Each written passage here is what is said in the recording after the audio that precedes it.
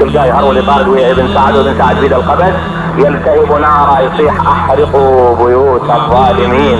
يقول الراوي لما رفع رأسه رأينا أن وجهه تلطخ بدم عليه الله يرحمه الشيخ عبد الزهر الكعبي الخطيب زميلنا رضوان الله عليه.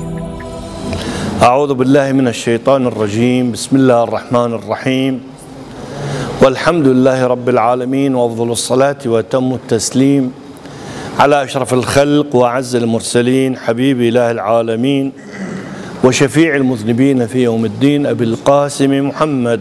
اللهم صل على محمد وآل محمد.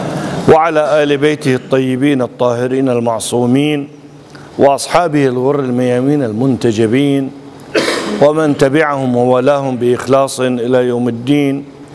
والسلام عليكم جميعا ورحمة الله وبركاته.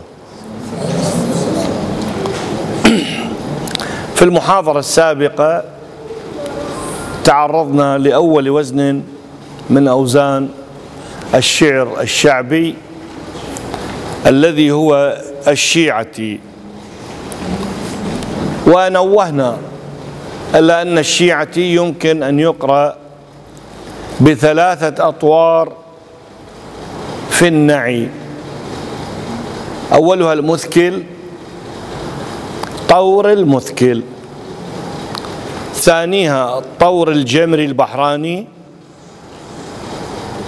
ثالثها طور القطيفي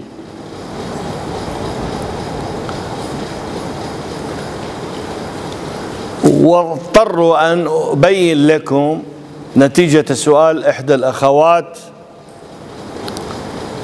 التي أشكل عليها فهم الفرق بين اسم الوزن الشعري واسم الطور. يعني فن أداء هذا الوزن طريقة أداء هذا الوزن اللحن الذي ننحن به هذا الوزن الشعري ما يناسبه. على الخطيب الحسيني أن يميز أن يفرق بين اسم الوزن الشعري وطريقة أداء هذا الوزن.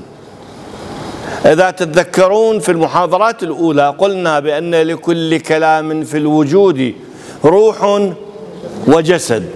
الجسد هو الوزن الشعري والروح هو الطور. فقلنا الآن نحن قرأنا في الدرس الماضي شيعتي بطور القطيفي. الآن سنقرأ الشيعتي بطور البحراني.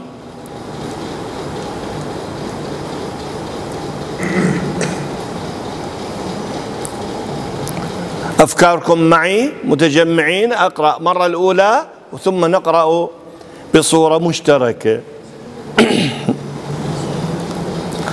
شيعتي مهما شربتم عذب ماء فاذكروني. أو سمعتم بغريب أو شهيد فاندبوني. شيعتي مهما شربتم عذب ماء فاذكروني. أو سمعتم بش أو شهيد فاندبون. فأنا الصبط الذي من غير جرم قتلوني. وبجرد الخيل بعد قتل عمدا سحقوني. طور شجي وكما يقال كأن هذه الثياب مفصلة بهذا القياس. وما أجمل أن يكون الطور الطور مناسب ومطابق للوزن الشعري. لا أن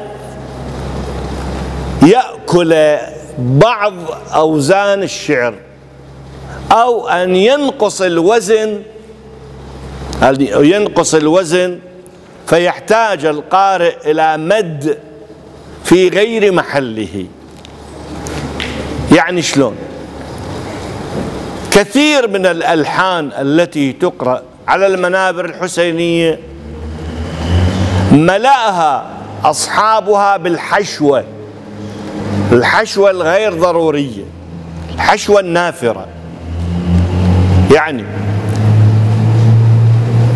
أجيب مثال.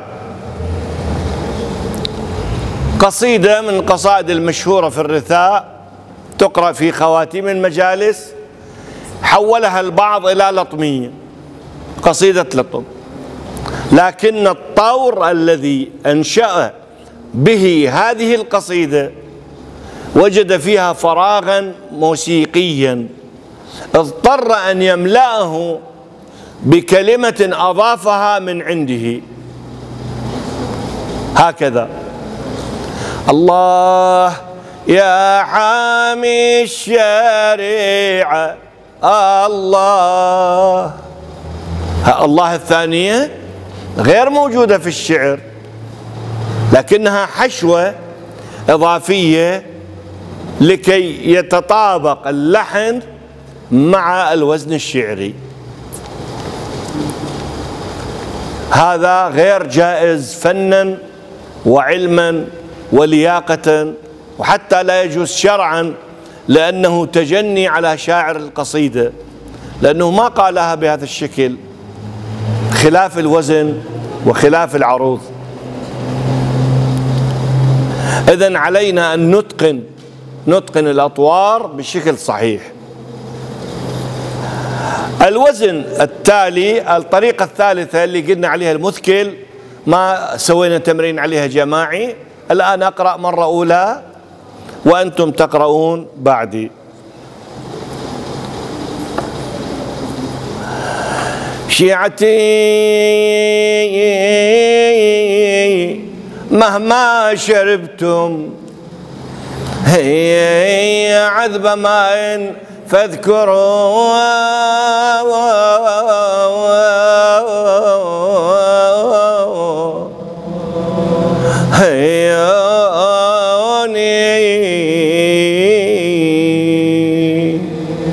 أو سمعتم بغريب.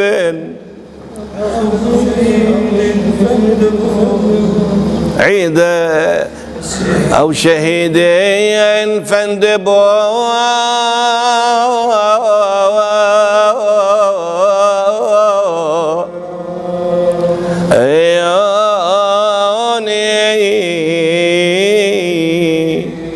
والله ما تساعدني يا جابر على مصاب اللي دهاني. وتنظر القاس المقدر كم سهم ماضي رمايا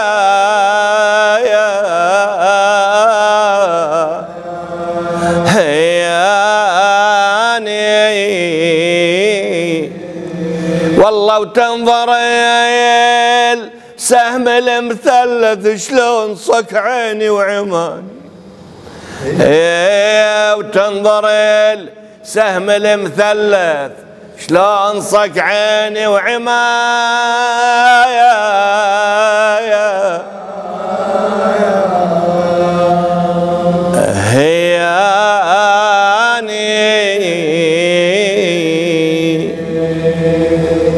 بارك الله بكم إذا استطعنا أن نؤدي وزن الشيعة بثلاث أطوار مختلفة.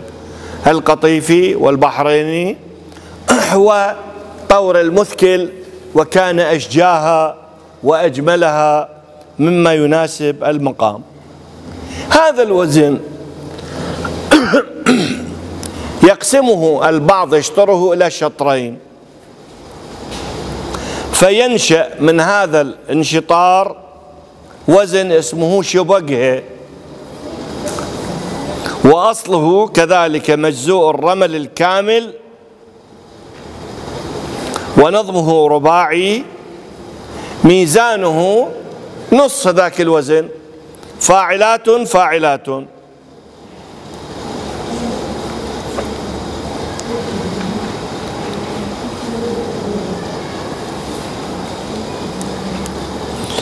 مثاله أبيات في رثاء مسلم بن عقيل عليه السلام بلسان حال الإمام الحسين عليه السلام.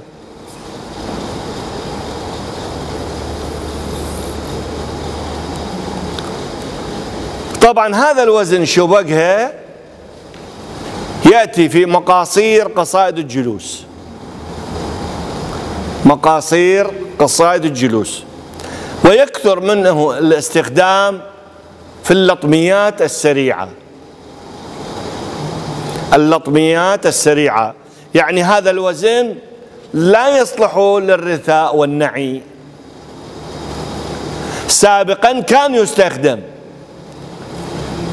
لأن قراء القدامى كانوا يخلطون في المجلس الحسيني بين اللطم والرثاء النعي. واضح شلون؟ كما يفعل الآن بعض الخطباء. يبدأ بلطمية على أنه هذا نشيد الدهر نشيد الزمان. ثم بعد ذلك يدخل بلطمية ثم يقرأ رثاء ثم يضع موضوعا ثم ينتهي بمصيبة وينتهي بقصيدة. وهذا التنقل من جو إلى جو غير صحيح علما وفنا. لأن الإنسان المستمع في المجلس الحسيني يتمنى أن يعيش حالة من الخشوع تستدر الدموع.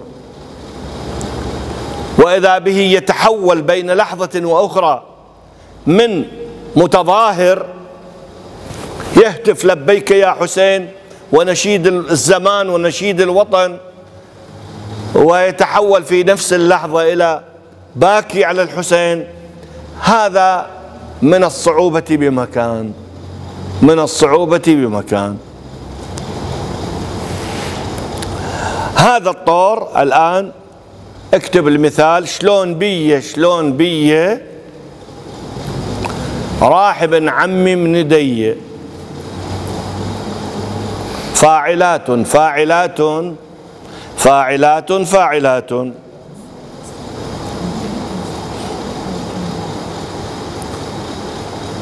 هذا الوزن يصلح للأفراح ويصلح لللطميات ولا يصلح للرثاء. هذا الوزن الثاني من أوزان الشعر الشعبي.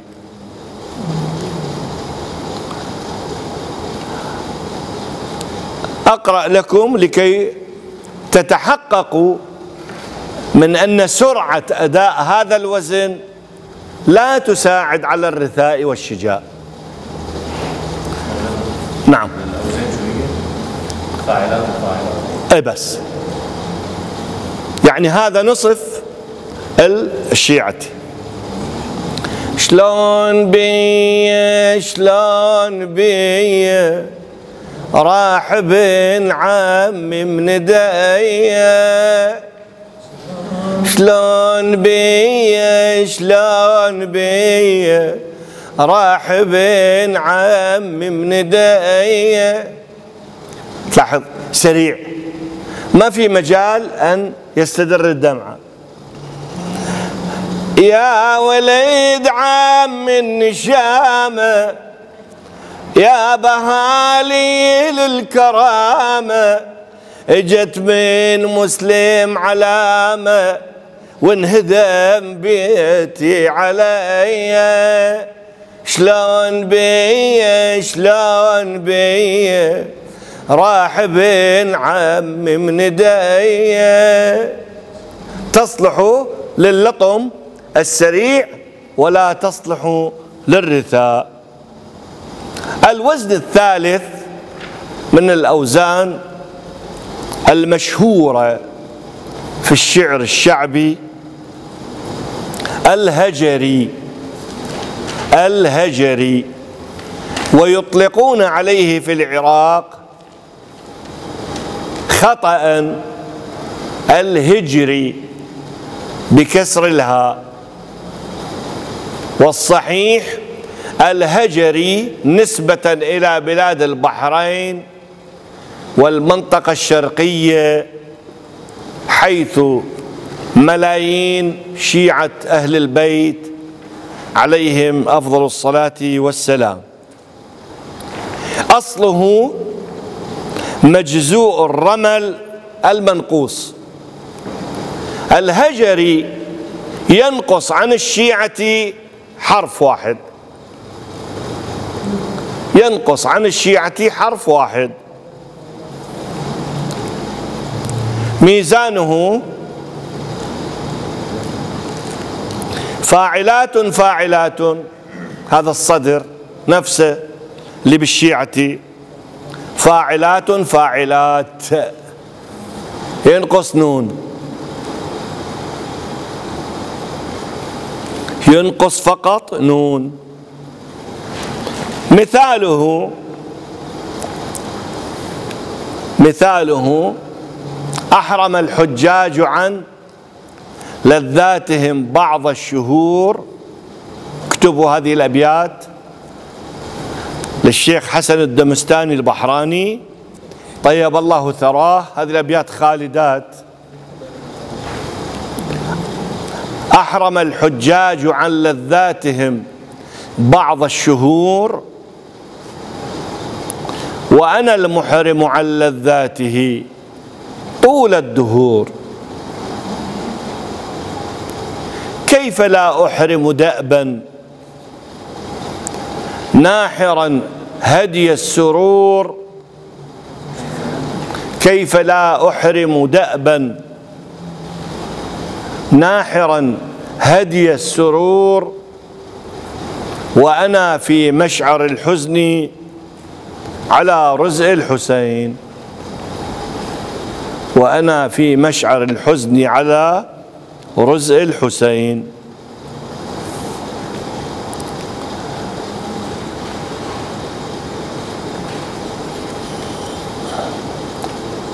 يقرأ يقرأ الهجري.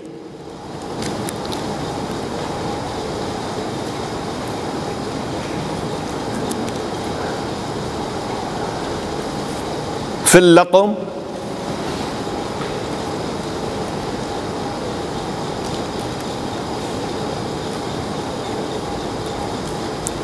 بالطريقة البحرانية.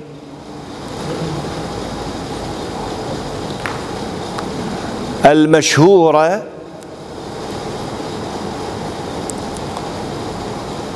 بين قوسين بباء بين قوسين ذو الجناح. اكو قصيدة يسموها ذو الجناح. اذا شايفيها يقرؤوها الرواديد البحرانيين على التلفزيون تطلع يوم العاشر. أقرأها لكم الآن.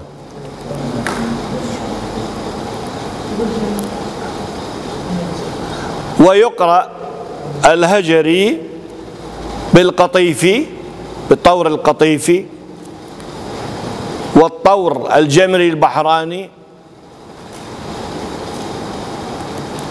ويقرأ بالمثكل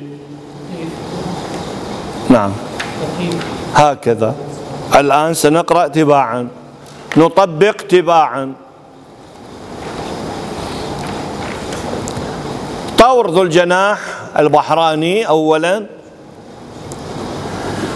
ذو الجناح قبل من الميدان خالي وويلا. أيوة حسينا. ذو الجناح قبل من الميدان خالي وويلا. أيوة حسينا.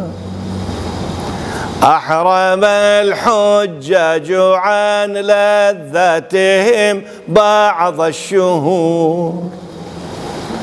وأنا المحرم عن لذته طول الدهور. كيف لا أحرم دأبا ناحرا هدي السرور؟ وأنا في الحزن على روز الحسين أيوة حسينا أيوة غريبة. أيوة شهيدة. هذه الطريقة يؤديها شيعة أهل البيت عليهم السلام في البحرين وفي عمان وفي المنطقة الشرقية. كل الخليج يوم عاشوراء عصرا يمثلون عودة الجواد إلى خيام بنات الرسالة وهو مقلوب السرج مخضبا ناصيته بدماء الحسين عليه السلام. أما بالنسبة للرثاء والنعي فإذا قرأنا هذه الأبيات بالطور القطيفي سنؤديها بهذا الشكل. أحرم الحجاج عن لذاتهم بعض الشهور. وأنا المحرم عن لذاته طول الدور كيف لا أحرم دأبا ناحرا هدي السرور. وأنا في مشعر الحزن على رز الحسين. شايفين قد شجي هادئ؟ والأبيات اللي بعدين تجي. ضمني عندك يا جداه. وفي هذا الضريح علني يا جد من بلوى زماني يستريح أبيات شجية وحلوة وملحمة هي تحكي مصرع الحسين عليه السلام من أول محرم إلى آخر صفر. الآن نحاول أن نعيد مع بعض نقرأ الأبيات بالطور القطيفي لكي نتقوى على أداء هذه الأبيات. نبدأ. واحد اثنين ثلاثة. أحرم الحجاج عن لذاتهم بعض وأنا المحرم عن لذاته طول كيف لا أحرم دأبا؟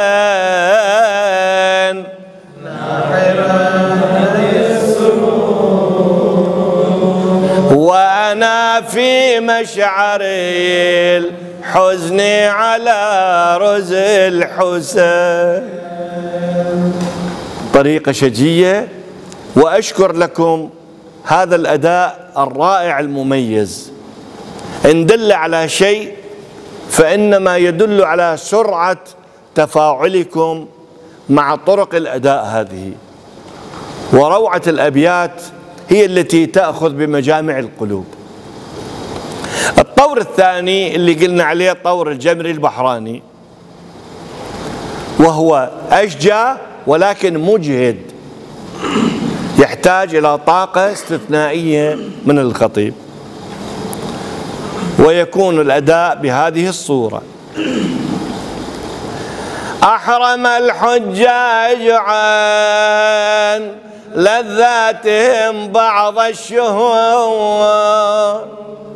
وأنا المحرم عن لذاته طول الدهور. كيف لا أحرم دأبا ناحرا هدي السرور. في مشعري حزني على رزق الحسين. بارك الله بيكم بارك الله بيكم يعطي روعة أكثر. يعطي تفاعل أكثر. هذا الطور الثاني الطور الثالث سنؤدي به. هذا الهجري هو الطور المثكل ضمني عندك يا جداه في هذا الضريح علني يا جد من بلوى زمان يستريح.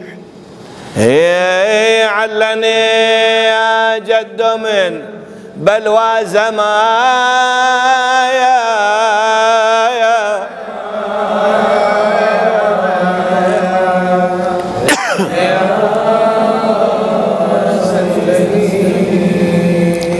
ضاق بي يا جد من فرط الأسى كل فسيح. فعسى طود الأسى يندك بين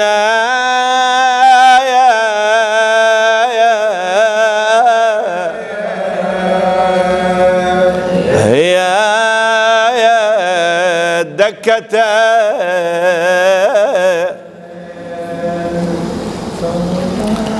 وهنالك الكثير الكثير من القصائد التي نظمها ملا علي بن فايز في الفائزيات والملا عطية البحراني رحمهم الله في ديوان الجمرات الودية من وزن الهجري. قصائد كاملة يعني ملاحم كاملة عن الطف إن أحببتم هذه الأوزان بهذه الأطوار احفظوا تلك الأبيات وأدوها على هذا الأداء الرائع والمميز. هنالك قصيدة في ديوان المدى ديوان المنظورات الحسينية للمرحوم أمير شعراء أهل البيت الحسينيين الحاج كاظم منظور الكربلائي رحمة الله عليه والذي أدين له بالكثير الكثير من الفضل في معرفتي لفنون الشعر الشعبي الحسيني في العراق. هذه القصيدة موضوعها رائع. موضوعها كان ضربة شعرية في وقتها لم يسبقه إليها أحد. حوارية بين رأس المولى وجسد المولى. يوم الأربعين. أقرأ لكم أبيات منها. البيت الأول. ستجدون روعة هذه القصيدة. وأنا على استعداد أن أصور لكم القصيدة بالكامل. وآتيكم بها لتحفظوها وتؤدوها يوم الأربعين. الصعوبة في هذه القصيدة فقط أن بعد الثلاثة أشطر من الهجري يأتي ثلاثة أبيات من الحدي وزن آخر. يعني القصيدة مركبة من وزنين وتحتاج إلى طورين اللي عنده إمكانية أن يسيطر على التنقل من طور إلى طور يحفظ هذه القصيدة ويؤديها فإنها بحد ذاتها مجلس عزاء كامل. ماذا يقول المنظور في هذه القصيدة الرائعة؟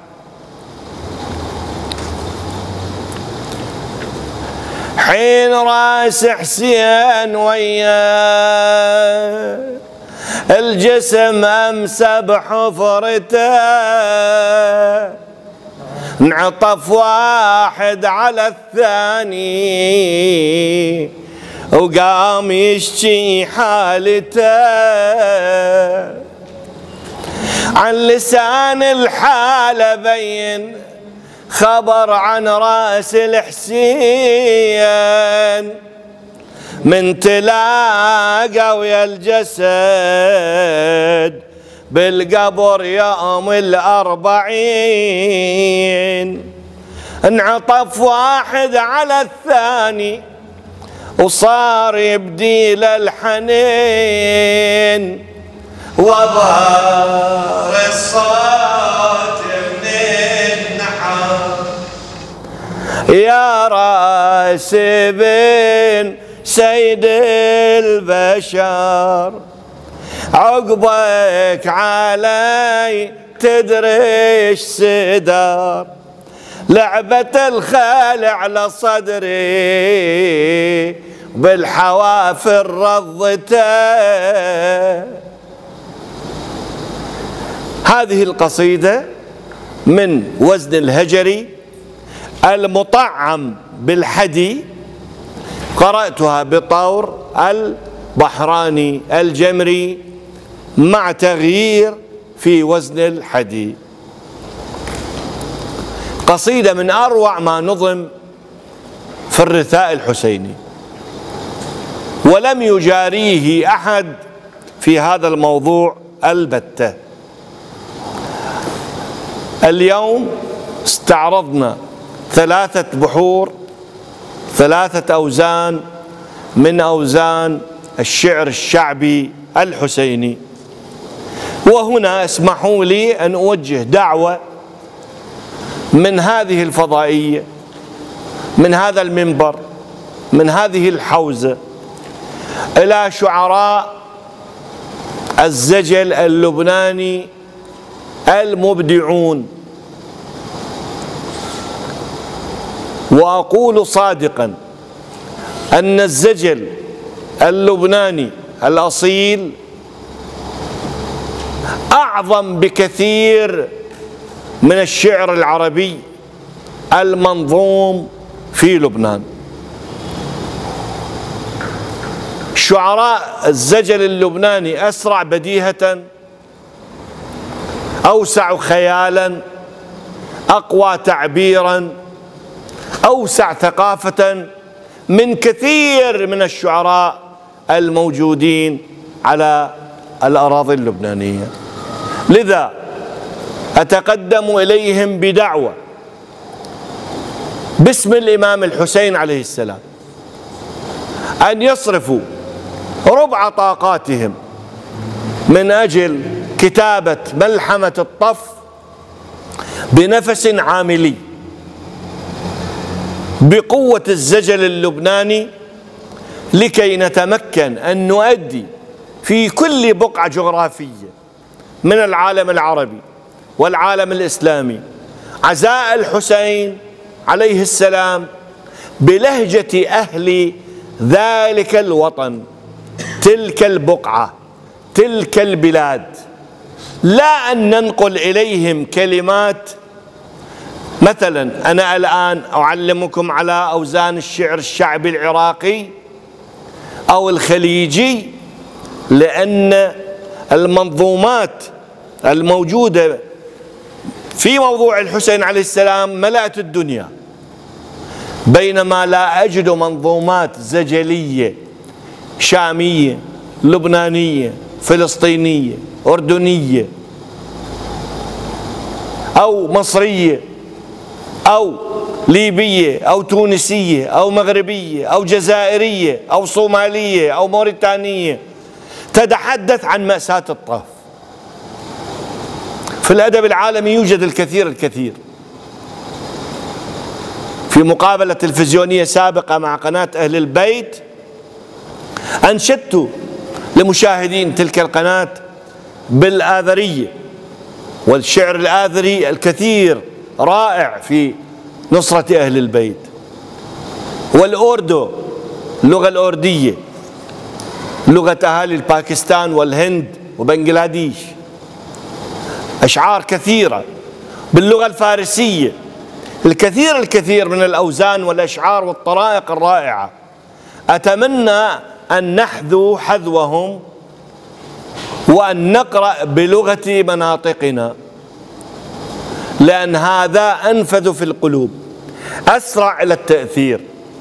يعني الآن عندما تقرأ القارئة اللبنانية مثلا أو القارئ اللبناني عندما يقرأ في مجلس عزاء الشروقي أو يقرأ المعنى أو يقرأ القرادي أو يقرأ الموشح اللي هي أوزان لبنانية. سيجد في نفوس المستمع اللبناني أثرا أكبر من قراءته لبعض الألفاظ العراقية أو الخليجية التي أحيانا لا تلاك معه بشكل جيد ويلفظها بحيث تؤدي إلى معاني غير معانيها الأصلية. وقد سمعت بأذني هاتين وإلا صمتا الكثير من القراء يحرفون الكلمات لأنهم لا يحسنون تلفظها كما يلفظها أهل البلاد التي صدرت منهم هذه الكلمات. مثلا كلمة شحشيلك تشي حرف تشي لهجة جنوبية عراقية. خاصة. بينما القارئ اللبناني إذا قال شح شيلك يريد يقول شح شيلك يقول شح شيلك يقلب الشي إلى الشين فينقلب إلى حشو. أو مثلا باللهجة العراقية يقول حط جدمة على صدر حسين. حط جدمة يعني الشمر. عليه لعان الله وضع قدمه على صدر الحسين وثنى ركبته وأمسك بلحيته واحتز رأسه من القفا. إذا هنا أسأل إذا جاء الخطيب اللبناني وأراد أن يقول حط جدمة على صدر حسين سيقول حط جزمة. شايفين الفرق بالكلام؟ علما أن هنالك بعض الكلمات إذا لفظناها بلفظ أهل بلدانها ستكون معيبة بحقهم وبحق المنبر الحسيني. لذلك أتقدم بالدعوة إلى كل شعرائنا أن يكتب كل ابن بلد بلهجته مصيبة الحسين ويتسنى لنا أن نؤدي ما هو أقرب إلى نفوس الناس. أعود إلى فاصل أخير من صناعة الخطابة في كتاب المنطق. يقول وعليه فيحتاج من يريد التأثير على الجماهير في إقناعهم أن يسلك مسلكا آخر غير البرهان والجدل. فإن الذي يبدو أن الطرق العقلية عاجزة عن التأثير على عقائد الناس وتحويلها لعجزها عن التأثير على عواطفهم المتحكمة فيهم. بل لا يقتصر هذا الأمر على الجمهور بما هو جمهور. فإن كل فرد من أفراد العامة إذا كان قليل الثقافة والمعرفة هو أبعد ما يكون عن الاقتناع بالطرق البرهانية أو الجدلية بل أكثر الخاصة المثقفين وإن ظنوا في أنفسهم المعرفة وحرية الرأي ينجذبون للطرق المقنعة المؤثرة على العواطف وينخدعون بها بل لا يستغنون عنها في كثير من آرائهم واعتقاداتهم بالرغم على قناعتهم بمعرفتهم وثقافتهم التي قد يتخيلون أنهم قد بلغوا بها النهاية. فيجب هنا نقطة حساسة جدا أخواتي وأخواني أن تكون المخاطبة التي يتلقاها الجمهور والعامي وشبهه من نوع لا تكون مرتفعة ارتفاعا بعيدا عن درجة مثله. ولذا قيل اكتبوا هذه الحكمة أو هذا الحديث. كلم الناس على قدر عقولهم. منين جاءتنا هاي الحكمة؟ روي عن الإمام الصادق عليه السلام. قال ما كلم رسول الله صلى الله عليه وآله وسلم العباد بكنه عقله قط. وقال قال رسول الله صلى الله عليه وآله وسلم إنا معاشر الأنبياء. أمرنا أن نكلم الناس على قدر عقولهم. هذا الحديث في أصول الكافي. اذا لم تبق لنا صناعة تناسب هذا الغرض غير صناعة الخطابه الأسلوب الخطابي. وهذا هو وجه الحاجة إلى صناعة الخطاب. ولزم على من يريد قيادة الجمهور إلى الخير أن يتعلم هذه الصناعة وهي عبارة عن معرفة طرق الإقناع. فإن الخطاب أنجح من غيرها في إقناع كما أن الجدل في الإلزام أنفع. أقول قولي هذا وأستغفر الله لي ولكم وآخر دعوانا الحمد لله رب العالمين وصلى الله على محمد وآله الطاهرين. صل على محمد وآل